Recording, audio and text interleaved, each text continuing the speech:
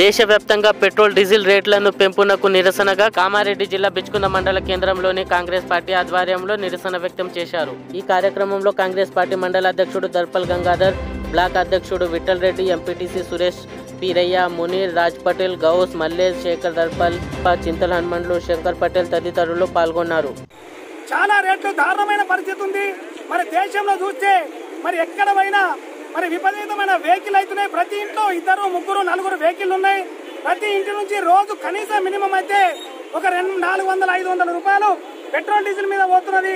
దాన్ని ఆలోచించి ఏఐసిసి మరి రాహుల్ గాంధీ గారి పిలుపు మేరకు మొత్తం ఆల్ ఇండియాలో ఈ రోజు ప్రతి పెట్రోల్ పంపుల మీద ధర్నా కార్యక్రమం పెట్టడం జరిగింది. అదేవిధంగా మన చుక్కల్ కాన్ఫరెన్స్లో పిచ్చుకుంద మండలం తరఫున పిలుపు మేరకు మరి ఇక్కడ petrol pump HP petrol pump ముందర ఈ ధర్నా కార్యక్రమం చేయడం జరిగింది. దీన్ని అర్థం చేసుకుని కనీసం మోడీ గారు మరి మీరు చాలా మంచి పేరు తెచ్చుకున్నది పోయి ఈరోజు పూర్తిగా జీరో పరిస్థితికి వస్తున్నది నీ గ్రామ మొత్తం పడిపోతున్నది. ఆలోచించుకోండి మీ పరిస్థితి ఏమున్నది? మరి ఈరోజు పాలాభిషేకం చేస్తున్న పాపం సిగ్గు లేకుండా బీజేపీ వాళ్ళు. ఆయన ఏం చేసిండు? అత్యధిని అనేది మోడీ ఏం చేసిండు? ఆయన పాలాభిషేకం చేసి చేయడానికి కూడా సిగ్గు లేదు. కనీసం అడగటానికి కూడా అర్హత లేదు ఈరోజు మన కాన్ఫరెన్స్లో మన ప్రజలలో వెళ్ళి కనీసం ఏంటి బీజేపీ అంటే దారుణమైన పరిస్థితి.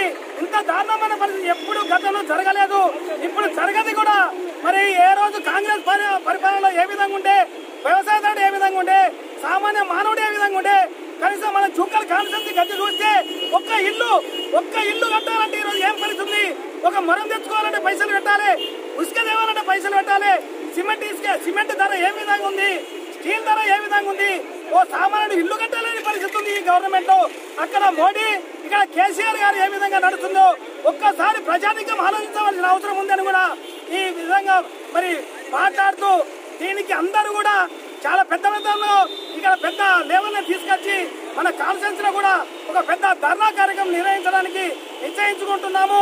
అతి త్వరలోనే దాని తేదీ కూడా మరి ఖరారు చేస్తామని కూడా ఈ సందర్భంగా మనం